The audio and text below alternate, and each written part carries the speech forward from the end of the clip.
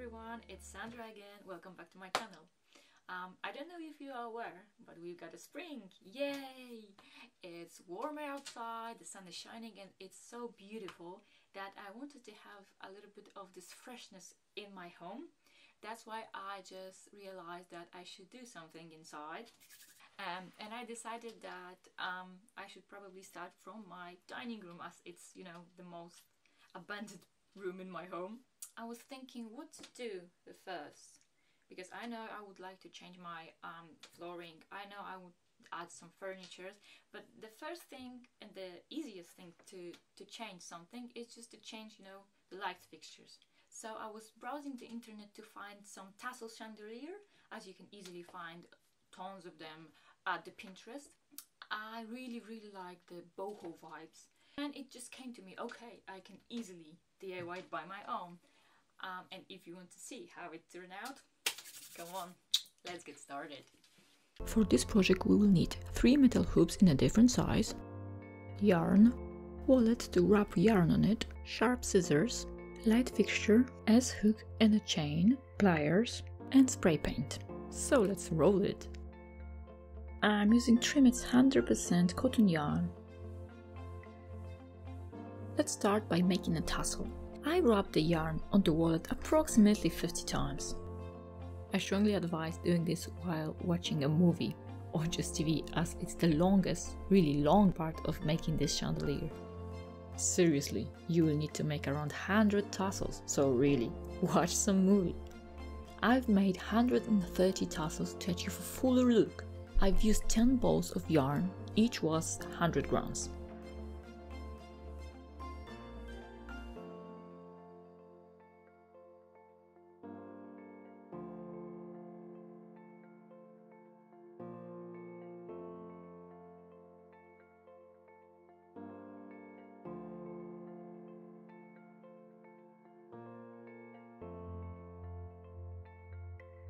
In the next step, you will need to tie your tassels to the hoop. Tie them very tight, so they won't fall out after a while.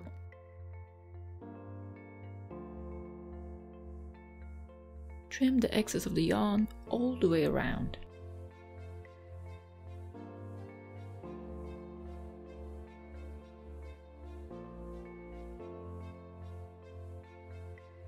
Just to be on the safe side, I've secured all the knots with a dot of hot glue.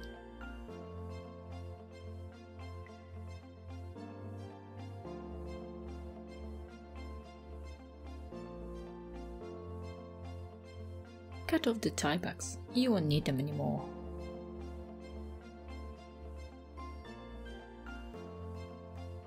In the next step, I'm cutting 8 long strings of yarn to connect all the 3 hoops.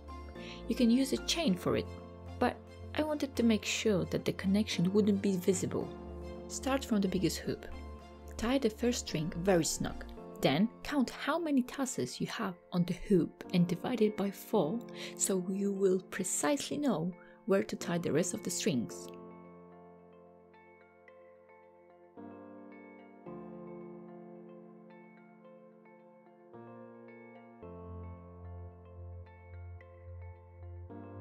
Then insert your middle hoop into the biggest hoop.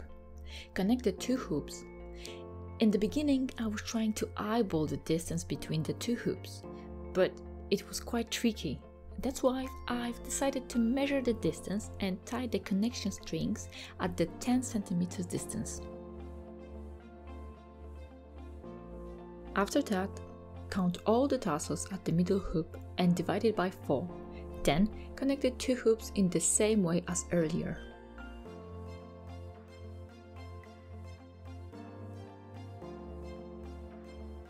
Do the same to connect the third hoop with the second.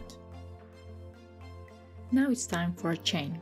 I didn't want the chain to be too long. 30 centimeters is just the right length for me.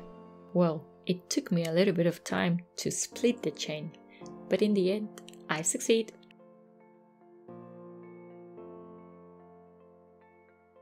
Connect the chain in places where the connection strings are.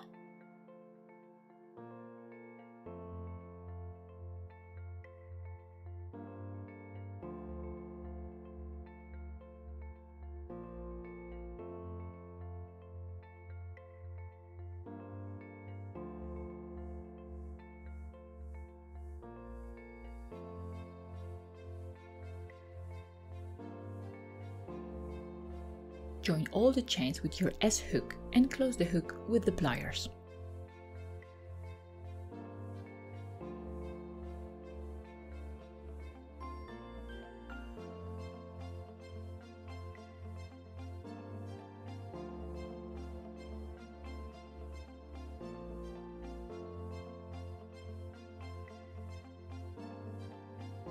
And you are nearly done.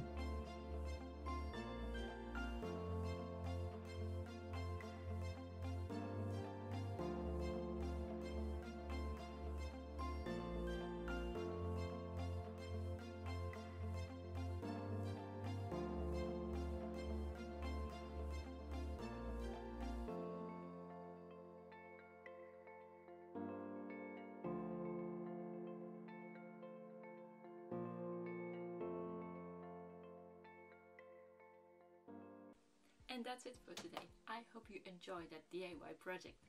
In the future, I will have tons of more DIYs because I wanted to freshen up my um, dining rooms and there will be tons of DIYs.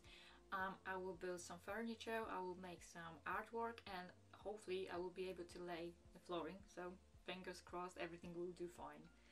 Um, yeah, and if you really enjoyed it as I said, thumbs up and remember to hit that subscribe button and the bell just to, you know, stay in touch. And that's it for today. Thank you for watching. See you next time. Bye. Have a nice day.